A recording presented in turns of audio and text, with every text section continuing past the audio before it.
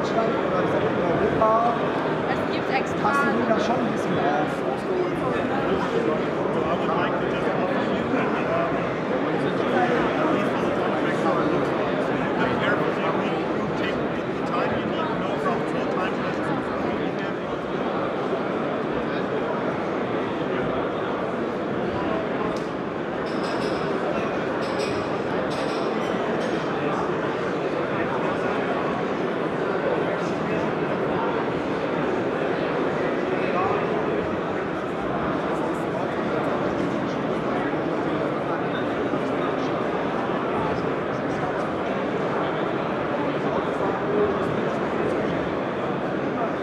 Willkommen, liebe Freunde vom Modellpilot EU. Heute sind wir auf einer speziellen Messe in Berlin auf der Intergeo und das ist die Inter Aerial Solution. In diesem Rahmen äh, war ich sehr überrascht, äh, bekannte Gesichter hier zu sehen. Und äh, neben mir steht Herr Seibel und Herr Seibel ist Geschäftsführer des Unternehmens und erzählen Sie ein bisschen mal über die Geschichte, wie es entstanden ist und welche Passion dahinter steht. Genau, also Quantum Systems, die Idee ist entstanden naja, im Prinzip daraus, dass äh, Quadrocopter keine Flugzeit haben, die für professionelle Anwendungen zufriedenstellend ist.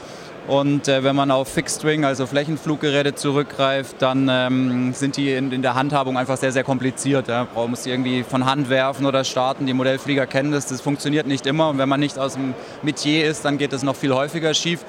Äh, man hat auch in den professionellen Anwendungen nicht immer ein, ein, schönes Modellfluggelände. Also war die Idee, wie kann ich Senkrechtstart mit effizientem Vorwärtsflug zu kombinieren und ähm, auch so ein bisschen meine beiden Hobbys, äh, das Segelfliegen und äh, das berufliche, was ich mal gemacht habe, Hubschrauber äh, bei der Bundeswehr, das zu kombinieren in ein Flugsystem. Und ähm, ja, so entstanden dann die Fluggeräte von Quantum Systems. Aha. Und die Affinität zum Modellflug? Äh, die war schon ganz früh da. Das, äh, leider haben das meine Eltern gar nicht so arg unterstützt, wie man sich das vielleicht wünschen würde, aber dafür habe ich es umso hartnäckiger ähm, durchgezogen. Also ich kannte den kompletten äh, Multiplex und aber auch Graupner-Katalog natürlich von vorne bis hinten auswendig. Äh, jede Bestellnummer, ich wusste, was jeder Flieger kostet und habe mir die auch äh, jedes Wochenende durchgerechnet. Konnte mir das leider nie leisten. Irgendwann war es dann soweit. Äh, ich hatte 700 D-Mark zusammen und habe eine 3010 gekauft. Äh, immer noch guter Sender. Und ähm, ja, äh, so war die Begeisterung fürs Modellfliegen eigentlich immer da. Ja, diese VTOLs haben ja die Eigenschaft, äh, wir sehen ja im Hintergrund noch eine größere Maschine von Ihnen, die hat ja eine höhere Flächenbelastung als jetzt hier. Was ist denn der Vorteil dann? Also, äh, hohe Flächenbelastung ist für uns kein Problem, weil der Langsamflug äh, immer durch die vier Motoren oder drei Motoren unterstützt wird. Also ist es sehr, sehr stabil, auch bei langsamen Fluggeschwindigkeiten. Hat aber den Vorteil, dass der Flieger sehr, sehr ruhig in der Luft liegt. Also er fliegt, wie man äh, immer wieder sagt, äh, auf Schienen. Ja. Das tut er wirklich, weil die Flächenbelastung für einen Segler dieser Größe mit dreieinhalb Meter Spannweite, 15 Kilo, ist schon äh, ordentlich, ja, genau. Aber ist handelbar, weil da eben auch ein, ein sehr, sehr intelligenter Auto, Autopilot hinten dran steckt. Aber jetzt stellt man sich die Frage zur Anwendung. Was kann man jetzt damit machen? Genau, also ähm, die, die Preisrange von diesen Geräten ist natürlich außerhalb äh, von dem, was wir jetzt im Modellflugbereich gewohnt sind, auch wenn man auf den ersten Blick erstmal denken würde, ist ja nur ein Modellflugzeug. Ähm, da steckt eben ganz viel Know-how und Details im Autopiloten, in der Flugsteuerung, in der Programmierung. Ähm, das ist notwendig, um dann eben Anwendungen wie im Bereich 3D-Rekonstruktion, da geht es um Überwachung von Großbaustellen, von Minen, Tagebau, Anlagen ähm, in der Landwirtschaft, äh, Düngestrategien zu optimieren, Bewässerungen ähm, anzupassen. Das sind so die Einsatzzwecke aktuell und die Reise geht hin in Richtung Hochspannungstrassen, Öl- und Gaspipelines, aber auch Cargo. Ja. Ähm, vielleicht nicht Cargo, so wie man das von, von Amazon hört, äh, so irgendwie der Quadrocopter kommt und schickt was, aber so High Value, also Güter, die einen hohen Wert haben von A nach B zu transportieren, ob das äh, Blutkonserven sind, Medikamente, so Geschichten. Also da sind wir uns sehr, sehr sicher, dass die Reise hingeht. Ja, Im Cargo-Bereich ist es ja auch die Hafenüberwachung und so weiter, was ja auch mit zusammenhängt. Ne? Und Security. Security ist natürlich ja? auch ein Riesenthemenfeld, da haben wir gar nicht angesprochen jetzt. Ja, wie ist denn das jetzt passiert, dass ihr zum Multiplex gekommen sind, als so ein High-End-Hersteller? Ja, das war so, dass äh, ich hatte schon immer die Vorstellung in, in, den letzten Jahren, man müsste auch mal was im Bereich der, ja, der Drohnen tun. Ich habe auch immer gedacht, die, die Quadrocopter, das kann nicht die Lösung sein. Es muss eine Möglichkeit geben, auch im Bereich äh, der, der, der Flächenanwendung. Und dann haben wir uns vor zwei Jahren auf, einer, auf der AirTech-Messe, einer professionellen Luftfahrtschau, kennengelernt. Und dann nahmen die Dinge ihren Lauf. In der Entwicklungszeit von eineinhalb Jahren wurde gemeinsam dieses Projekt auf die Beine gestellt. Das ist schon beachtlich, oder? Ja, das war insofern auch beachtlich. Herr Seibel hatte natürlich unwahrscheinlich hohe Wünsche und Anforderungen und sein Team an, an, äh, an uns, an das Produkt. Aber er war sich sicher, mit Multiplex als, einer der, als der führende Hersteller im Bereich der Leuchtturmtechnologie den richtigen Partner gewählt zu haben. Und wir, unserer Seite, mein Team um Herrn Nakier und Herrn Scholz, die haben das Maximale aus der Leichtschaumtechnik herausgeholt. Und heute steht das Produkt hier, auf das wir gemeinsam, wirklich gemeinsam, sehr, sehr stolz sind. Und ähm, ich, wir sind gespannt auf den neuen Weg. Für Multiplex beginnt ein Teil einer neuen Ära.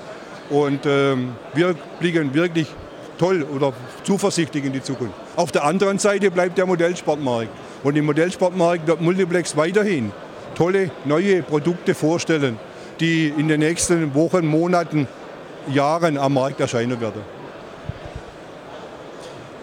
Wenn man die Details sich jetzt hier anschaut, die sind ja auch für Multiplex teilweise eine, eine, äh, auch wieder so das Zeichen, dass hier hohe Qualität umgesetzt worden ist, was konstruktiv ist, was auch usable ist.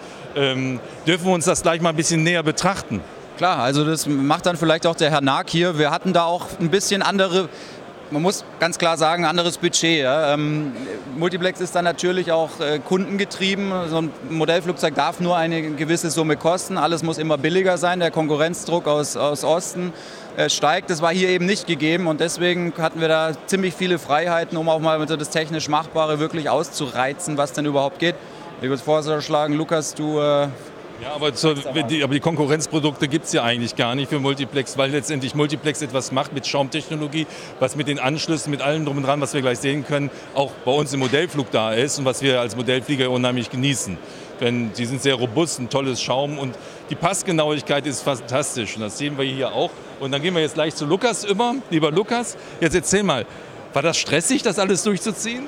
Ähm, hi Stefan, hallo zusammen. Ähm, die Antwort kann ich dir ganz einfach sagen, es war schon sehr anstrengend, hat aber auch unheimlich Spaß gemacht, mit Quantum Systems zusammenzuarbeiten die letzten bald zwei Jahre. Und es ist was ganz Tolles dabei rausgekommen, wo wir dann wirklich auch sehr stolz drauf sind. Okay. Ja. Lieben Dank erstmal an die Herren. Herr Wörner, Dankeschön. Herr Seibel, Dank. danke auch. Und jetzt gehen wir zu Lukas über und Lukas zeigt uns jetzt die Details. Nun erkläre ich ein paar Details zu Trinity, Grundsätzlich handelt es sich um eine VTOL-Drohne. VTOL heißt Vertical Takeoff and Landing. Das heißt, ich kann senkrecht starten und senkrecht wieder landen und bin so unabhängig von meinem ganzen Gelände, in dem ich das Flugzeug einsetzen möchte. Wie starte ich senkrecht mit einem Flugzeug? Das geht so. Ich habe hier drei Elektromotoren. Die vorderen sind an Gondeln dran, der hintere genauso. Und ich kann die dann nach oben tilten hier sind Klapppropeller. Die werden dann ausgefahren und das Flugzeug startet in einem senkrechten Flug nach oben, geht über in einen waagrechten Flug. Das Ganze nennt man Transition. Die vorderen Propeller werden dann abgeschaltet und klappen an. Wir haben hier Klapppropeller, wie man das auch aus dem Modellsport kennt oder aus FES im antragenden Bereich. Ähm, und der hintere Propeller ist der Motor, oder, oder der Antrieb, der das Flugzeug dann nach vorne bringt. Und das ist sehr effizient, viel effizienter als bei anderen Systemen. Und auch der wesentliche Vorteil der Trinity gegenüber anderen Systemen, dass ich einen einzigen Motor habe und eine Drohne dann mit einer Reichweite von 60 Kilometern fliegen lassen kann. Mit einem einzigen Elektromotor. Ähm, wir haben hier drei Servomotoren eingebaut. Ähm, die Gondeln werden über komplett innenliegende Anlenkungen getiltet. Das ist wirklich eine sehr schöne Geschichte. Wir haben Turbospinner angebaut und ähm, das Thema innenliegende Anlenkungen, das zieht sich bei der Trinity durch wie ein roter Faden. Wir haben keine außenliegenden Teile. Es ist alles komplett ähm, innenliegend und alles versteckt gebaut, sodass wir eine ganz saubere Aerodynamik haben.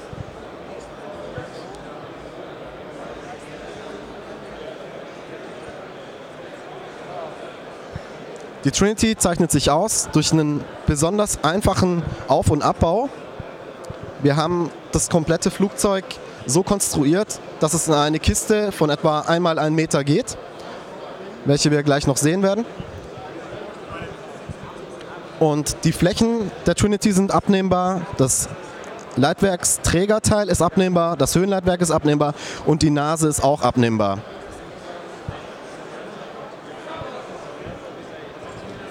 Um das Höhenleitwerk abzunehmen, ähm, geht man folgendermaßen vor. Hinten ist ein kleiner Schnappverschluss.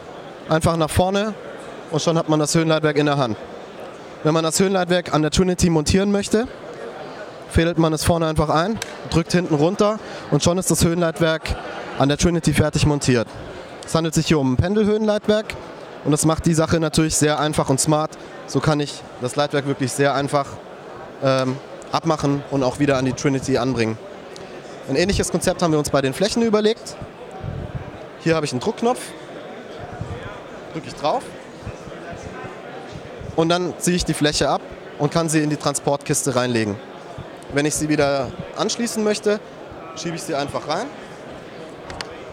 und der Knopf verriegelt wieder und auch der Ruderanschluss ist schon fertig, weil das Servo nämlich im Tragflächenmittelstück sitzt und über einen Kunststoffmitnehmer mitgenommen wird. So habe ich keine elektrischen Teile im Außenbereich der Tragfläche drin, sondern alles im Tragflächenmittelstück der Trinity. Das Heckteil ist abnehmbar durch zwei Druckknöpfe rechts und links.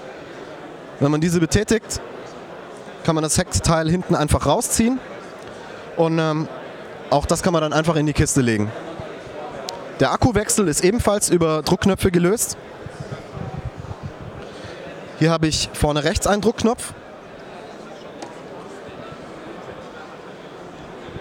Und so hat man den Akku schon draußen.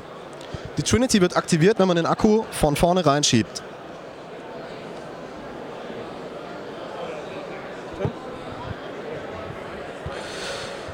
Eine weitere Besonderheit an der Trinity ist das Staurohr. Wir haben hier eine, ein P2-Rohr angebracht, welcher mit Magneten gehalten wird. Weil manchmal ist es so, dass wenn man die Drohne benutzt, man an das Staurohr kommt und es abbrechen könnte. Damit das nicht passiert, ist es hier äh, mit Magneten gelagert. Was kann ich mit der Trinity transportieren? Das sind diverse Kameras, egal ob multispektral oder RGB-Kameras. Und diese werden von unten in ein Compartment eingeschoben. Das Compartment selber sieht so aus. Hier sehen wir jetzt die Multispektralkamera hinten mit dieser gelben Linse und eine RGB-Kamera, äh, welche hier vorne ist. Geliefert wird die Trinity in einer EPP-Kiste mit einer Stoffschutztasche außenrum. Man sieht hier das Tragflächenmittelteil, den Leitwerksträger, das Höhenleitwerk und die Außenflächen als große Teile der Drohne. Und sie sind so in der Kiste drin, dass sie dem Zusammenbau oder dem Auseinanderbau der Drohne entsprechend angeordnet sind. Das heißt, am Anfang brauche ich das Tragflächenmittelteil, dann brauche ich die Außenflächen, dann brauche ich den Leitwerksträger und zum Schluss das Höhenleitwerk. Und wenn ich sie zerlege, brauche ich zuerst wieder das Höhenleitwerk, das Hinterteil, das Mittelteil und die Flächen. So ist das in der Kiste drin. Des Weiteren ist der Sender enthalten.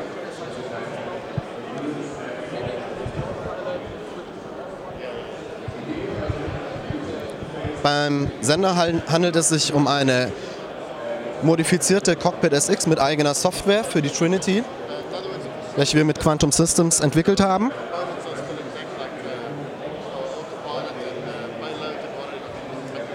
Die Kiste bietet Platz für bis zu drei Akkus. In diesem Fall sind das 10.000 mAh Akkus.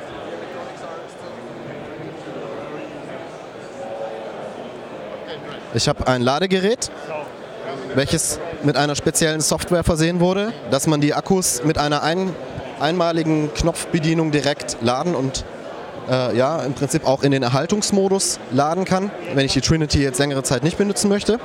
Aber das Ganze funktioniert nicht wie im Modellflug üblich über Powerstecker und Balancer, sondern wir haben hier einen zentralen Stecker, den wir an den Akku anschließen ähm, und damit äh, wird das komplette Ladeprogramm schon aktiviert und ich muss nur noch den Startknopf drücken und äh, kann dann direkt die Drohne laden.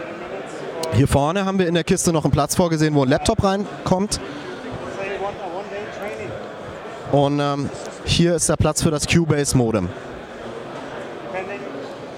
Hier oben sieht man einen Druckknopf, damit aktiviert man die Trinity. Hier oben drin ist der Autopilot und die Regelelektronik der Trinity. Zur Elektronik wird Herr Jürgen Scholz noch ein paar Sachen erklären. Ja, auch hallo von meiner Seite. Ich möchte einfach noch ganz kurz hier mal die Elektronik vorstellen, die wir hier bei der Trinity einsetzen. Zum einen Autopilot, komplett selbst entwickelt von der Firma Quantum. Ähm, ist einfach ein Wahnsinnsprojekt, was wir hier realisiert haben. Die komplette Steuerung der Drohne ist hier integriert. Nebendran sehen wir noch einen Dreifachregler, der die Motoren versorgt. Wir reden hier von 3x60 Ampere. äh, Dauerleistung. Das Ganze kommt ohne Kühlkörper aus und äh, neben der Versorgung der Motoren wird natürlich hier auch redundant die ganze Elektronik in der Trinity komplett versorgt. Genau, jetzt äh, einmal zeigen wir noch kurz, wie diese Nutzlast sich hier äh, quasi wechseln lässt. Ich kann da schnell tauschen, eine Nutzlast weg, die nächste, jetzt in dem Fall ist da eine Multispektralkamera für Landwirtschaft und äh, für 3D-Rekonstruktion eine hochauflösende RGB-Kamera drin.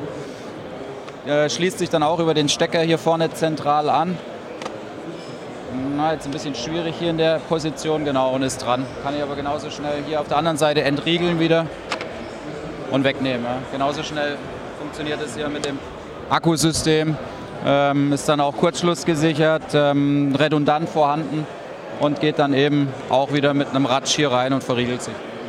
Ja, liebe Freunde, jetzt ist leider Herr Warner musste jetzt zu einem Termin raus, aber herzliche Grüße und äh, ganz zum Schluss bei unserem Abschluss, auch wenn es jetzt mit dem Modellflug sehr tangentiell ist und wir alle Modellflugaffin sind, Modellfliegen ist Spitze.